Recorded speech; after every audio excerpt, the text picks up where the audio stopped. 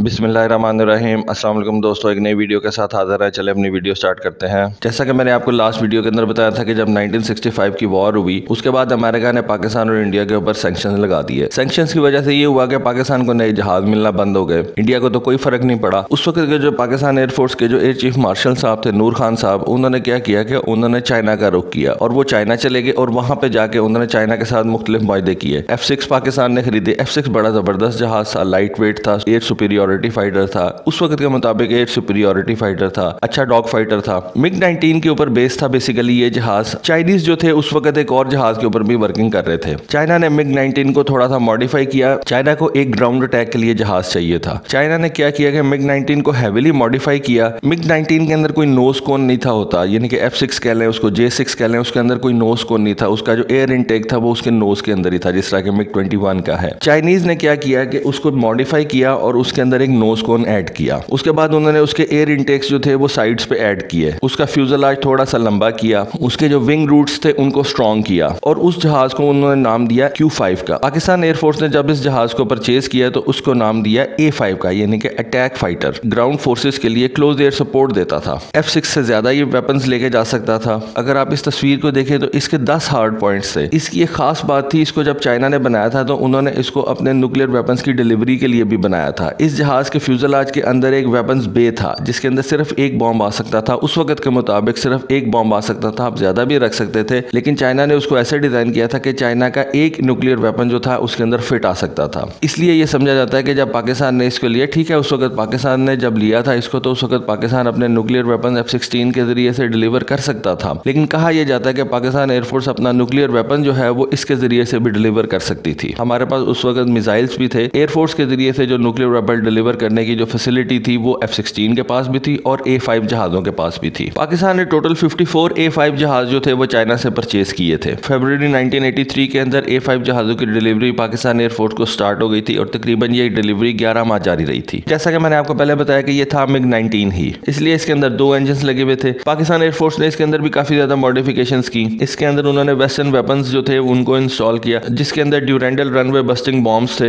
Unguided rockets थे। उसके बाद पाकिस्तान एयरफोर्स ने इसके अंदर फ्रांस के बने हुए air to air missile Matra 550 जो थे, उनको भी इंस्टॉल किया। अमेरिका के एम नाइन साइड वाइंडर्स को भी इसके साथ इंटीग्रेट किया और कुछ चाइनीज़ वेपन जो थे, उनको भी इसके साथ लगा के रखा। पाकिस्तान ने सबसे पहले इन जहाजों को अपनी रफीकी एयरबेस के ऊपर रखा था। ये रफीकी एयरबेस जो है, ये शोर कोट के अंदर है। सबसे पहले छह जहाज़ जो थे, वो पाकिस्तान पहुँचे। उसके कुछ दिन के बाद फिर छह जहाज़ पाकिस्तान पहुँचे। इस तरह पाकिस्तान ने तकरीबन ग्यारह माह के अंदर जो है फिफ्टी जहाजों को अपने अंदर इंडक्ट किया। शुरू शुरू में पाकिस्तान एयरफोर्स को काफ़ी ज़्यादा प्रॉब्लम हुई और कुछ एक्सीडेंट्स भी हुए। इन एक्सीडेंट्स की वजह से पाकिस्तान एयरफोर्स ने चाइना की जो इजेक्शन सीट थी, उसको निकाला और उसके अंदर फिर पाकिस्तान ने अपनी जो trusted Martin Baker ejection seat थी, उसको इंस्टॉल किया। इन जहाजों के साथ जो एक्सीडेंट्स हो रहे थे, जब उनको एनालाइज किया गया तो ये पता चला, पाकिस्तान एयरफोर्स जो थी, वो उस वक्त एफ़ जहाज़ को यूज़ कर रही थी अपने पायलट्स को ट्रेन करने के लिए फॉर ए फाइव यानी कि ए फाइव के लिए जो पायलट्स पाकिस्तान ट्रेन करता था, वो एफ़ टी सिक्स जहाज़ को यूज़ करता था उनकी ट्रेनिंग के लिए। बेसिकली था वो भी मिग नाइनटीन के ऊपर बेस ही, ये भी मिग नाइनटीन के ऊपर बेस था। इस वजह से जो था, वो एफ़ टी सिक्स को चूज़ किया गया ए फाइव के पायलट्स की ट्रेनिंग के लिए। लेकिन एफ़ टी सिक्स और ए फाइव के अंदर बहुत बड़ा डिफरेंस था। और वो डिफरेंस ये था कि एफ़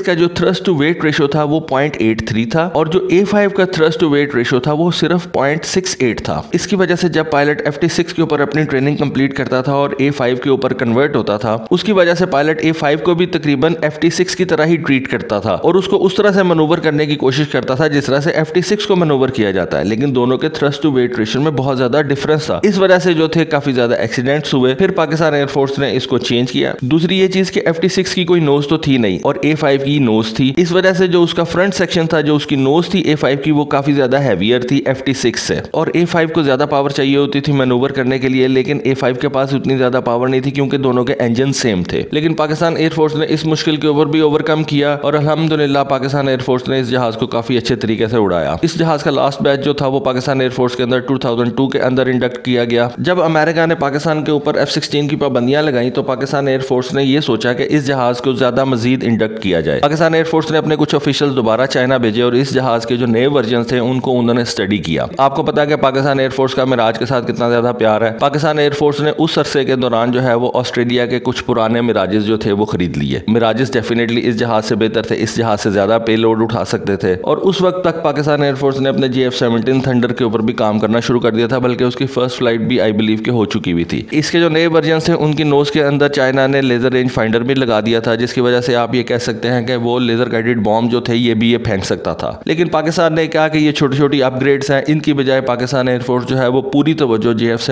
थंडर के ऊपर ही देगा। कोई रेडार नहीं होता था इनके अंदर। बेसिकली वही मिग नाइनटीन वाली टेक्नोलॉजी थी ये। इसका लास्ट स्क्वाड्रन जो था, वो पिशावर में था स्क्वाड्रन ट्वेंटी तो दोस्तों, ये एक छोटी सी कहानी थी इस ए जहाज़ की। ये जहाज़ बहुत ज़्यादा देर तो पाकिस्तान एयरफोर्स के साथ नहीं रहा, लेकिन जितनी भी देर रहा, इसने पाकिस्तान एयरफोर्स को अच्छा सर्व किया। और पाकिस्तान एयरफोर्स की जो एक खास किस्म की रिक्वायरमेंट थी, उसको इसने पूरा किया। तो दोस्तों, ये थी ए फाइव की कहानी पाकिस्तान एयरफोर्स के अंदर। होपफुली आपको अच्छी लगी होगी। थैंक यू अल्लाह हाफिज़।